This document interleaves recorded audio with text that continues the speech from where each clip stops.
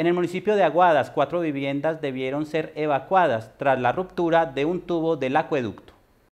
La alcaldía de Aguadas informó que a las 3 de la mañana de este viernes 21 de junio se registró una emergencia en dicho municipio. De acuerdo con las autoridades, se presentó la ruptura de un tubo del acueducto que se encuentra ubicado al inicio del sector La Avenida, el cual produjo que el terreno cediera y se viera afectado el andén y varias viviendas de la zona. Abro comillas. A primera hora nuestro equipo de gobierno se dirigió al lugar a atender el hecho porque somos los primeros en velar por la seguridad de la población. Cierro comillas, destacó la alcaldía de Aguadas. La Coordinación Municipal de Gestión del Riesgo evacuó preventivamente cuatro viviendas de la zona urbana por desplazamiento de terreno.